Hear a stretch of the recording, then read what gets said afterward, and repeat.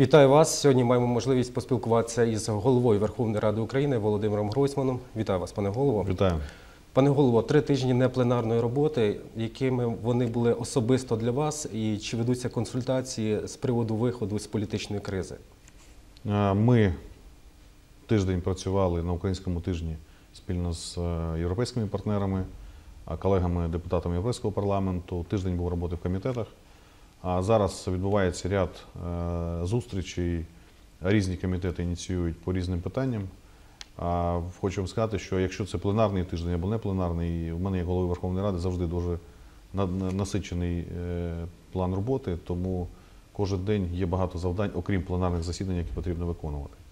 Формат компромісу виходу з політичної кризи знайдено? Я говорив про це раніше і сьогодні е, ще раз, напевно, підкреслю, що ми починали все з урядової кризи, і вона була в першу чергу покликана, на мій погляд, тим, що якість вирішення проблем в Україні була недостатньо якісною, і люди не відчували відповідних змін. Я говорив завжди, що реформи мають дві сторони медалі. З одного боку, розуміло, що треба робити певні, напевно, непопулярні кроки, а з іншого треба займатися реальними проблемами людей, які сьогодні їх хвилюють. Тому ця криза урядова переросла в політичну кризу. І якщо місяць-півтора назад я говорив про те, що ми входимо в кризу, сьогодні я говорю, що час пішов не на місяці, а час пішов на дні. Тому дуже важливо, щоб всі відповідальні політики прийняли рішення. Хочу сказати, що дуже важливо сьогодні, щоб прем'єр-міністр спільно зі своєю політичною силою прийняли відповідальне рішення, яке дозволить далі е, продовжити роботу е, українського парламенту і вийти з кризи. Врешті-решт, я би хотів сказати, що треба сьогодні концентруватись над виходом е, з кризи е, політичним порозумінням, а з іншого боку, чітким планом дій, який дозволить дуже чітко визначити, е, що конкретно має зробити влада.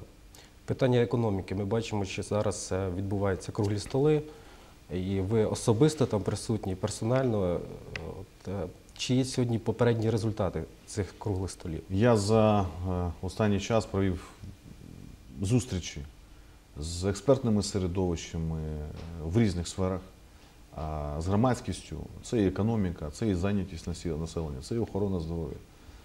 Все це дуже взаємопов'язано. Але хочу сказати про те, що та криза урядова, яку ми маємо на сьогодні, а, насправді покликана тим, що в багатьох сферах життя люди не відчувають змін. Наприклад, я вчора проводив е, засідання з питань охорони здоров'я. Ну, медицина кого сьогодні влаштовує? Нікого. А як пацієнтів не влаштовує стан справ в медицині, тому що не можуть знайти, як правильно лікуватись і куди звернутися, якщо є там величезна е, проблема. З іншого боку, і лікарів, які працюють, там лікар отримує заробітну плату 2800 гривень. Е, Скільки років навчаються, скільки закладають зусиль, а е, не мають е, відповідного забезпечення своєї праці. Насправді, от виступав на цьому заході представник Міністерства охорони здоров'я. Знаєте, що саме головне? Да немає бачення того, якою має бути охорона здоров'я. Як будуть працювати поліклініки або амбулаторії сімейного лікаря, як вони будуть забезпечені, на якому обладнанні вони будуть працювати, як діагностувати хвороби, що робити з тими людьми, які сьогодні помирають від серцево-судинних захворювань.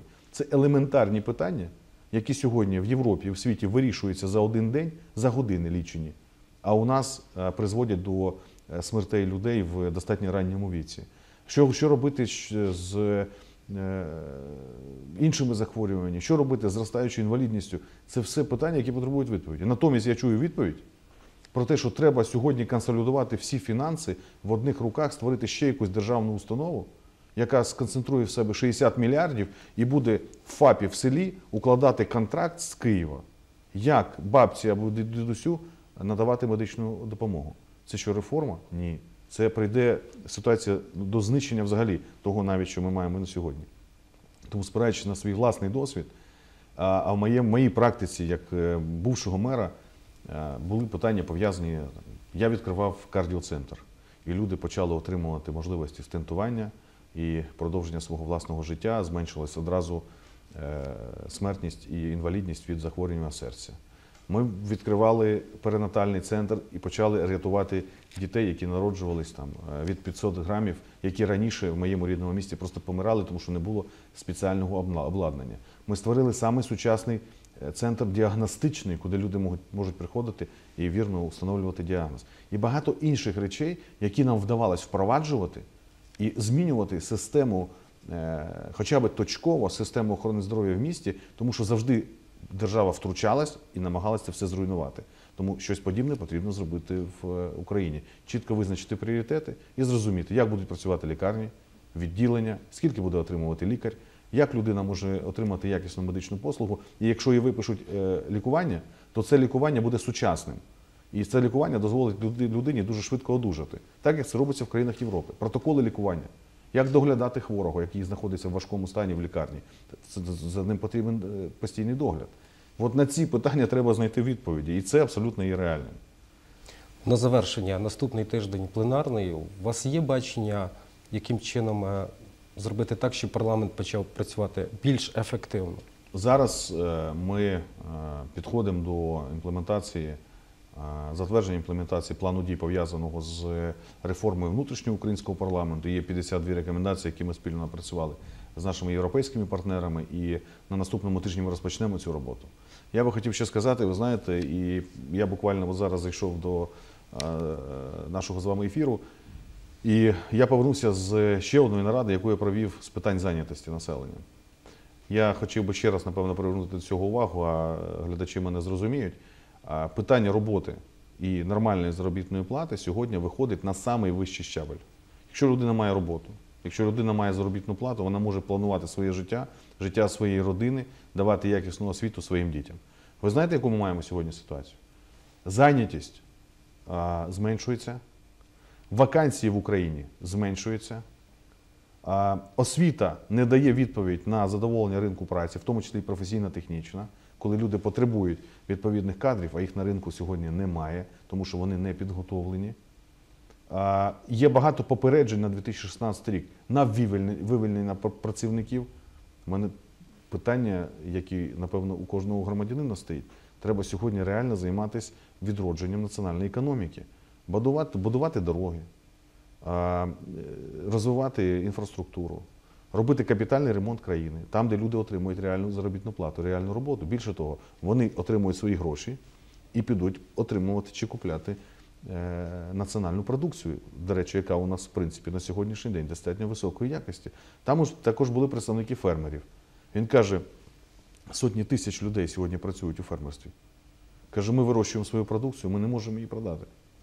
Виходить так, що виростив продукцію фермер, він має перепродати їх трейдеру, а трейдер потім вийде на світові ринки і отримує там е, найбільшу ціну за цей товар. Коли має отримати саме цей фермер, який повинен розвивати своє виробництво, створювати додаткові робочі місця, розширювати асортимент своєї продукції на задоволення проблем е, потреб е, українських громадян і тим самим і зменшувати ціну. Цим питанням системно ні- ніхто не займається. Хочу підкреслити, що і ми тільки поговорили з вами про зайнятість і бачимо купу проблем. Ми говорили про медицину, можливо говорити про професійно-технічну освіту і багато інших речей. Я вважаю, що нарешті виконавча влада повинна зайнятися не політикою, а країною і вирішенням проблем людей і державних проблем. Тоді ми будемо мати реальний план виходу із кризи. Наступний тиждень ми сконцентруємося на прийнятті рішень по безвізовому режиму. Ще залишилось одне рішення, треба його вже завершити і поставити в цьому питанні крапку. Внутрішня реформа парламенту і, напевно, такі самі гарячі рішення, які необхідні там в оборонній сфері, можливо, в питаннях фінансів, економіки. І ми ще будемо це узгоджувати в понеділок з колегами народними депутатами. Але я наголошую на тому, стабілізувати ситуацію можливо через знаходження рішення виходу з е, політичної кризи, яку ми сьогодні маємо. Оце буде запорука подальшого розвитку нашої країни. Тому я розраховую на е, зрілість українських політиків і на е, те, що кожен знайде в себе мужності прийняти вчасне, мудре і правильне рішення. Дякую вам за розмову. Дякую.